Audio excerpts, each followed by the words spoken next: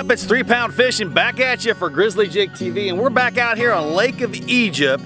And today, what we're going to be talking about is side imaging. Today, the focus is going to be purely electronics and how important they are in finding the brush pile. Let's get it done. One of the most important things about finding fish, finding crappie is your electronics. Now, I personally go with Humminbird. That's what I'm used to, but there's no difference between, in my personal opinion, between Lowrance and Humminbird. Great units, and uh, I just prefer Helix at the moment. I always go over to side imaging, and we start to troll.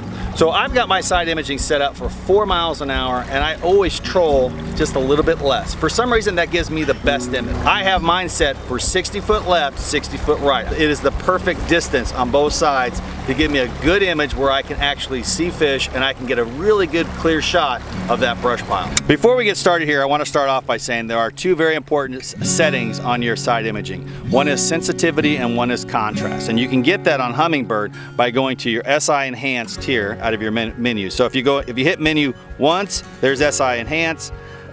You've got your sensitivity and your contrast settings. Basically, these settings need to set, set up roughly in the middle, somewhere around 10. So you can notice that I have mine both set at 12 and 12. Sharpness is always off. Contour mode is always off, at least for me.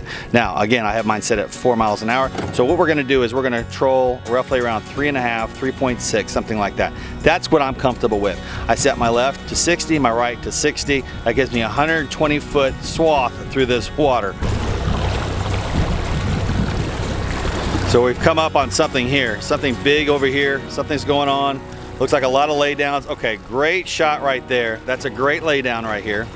And when I'm looking for fish, I'm looking for little white specks, but you're looking for laydowns, big laydowns. Now this is the water column. So we've gotten shallower, we've gotten, so these guys here are kind of up on a hump. There's really no art to it, folks, other than really setting up your unit and getting familiar with what side imaging is. You set your sensitivity, you set your contrast to kind of somewhere in the middle, and you can tweak it as you're rolling across this just to kind of see that you've got a good image. Now, something to keep in mind is that if you have two units, two transducers, I should say, on your boat, and they are both down at the same time, you might get what's called interference.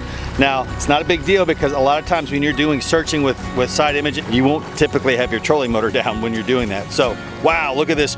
Okay, so this is what we're definitely gonna fish. That's awesome.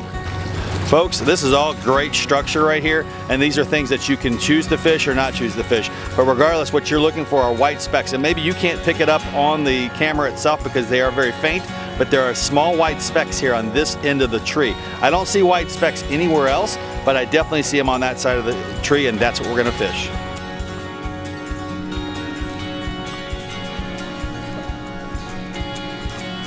Good fish. Woo, coming at you. hey, thanks for joining me today. Good episode on side imaging, just a little taste of it. Obviously you have to get out in the water and you need to uh, experience it yourself. You actually have to get out there and tweak it yourself. That makes you more and more, you get more and more familiar with it. But hey, that's a good eater right there. That's a good eater right there. Check it out. Thanks for watching. Please subscribe. Grizzly Jig TV, baby.